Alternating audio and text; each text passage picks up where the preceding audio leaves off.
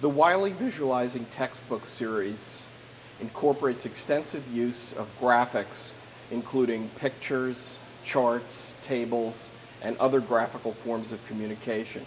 It's based on the multimedia principle, uh, best summarized by Mayer, that words and pictures are better than words alone.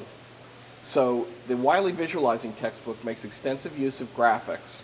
We studied the Wiley Visualizing series to see if students who use the more graphically rich environment of the Wiley Visualizing textbook would learn more than students who used a non-visualizing series textbook, a textbook that did not incorporate as extensive use of graphics.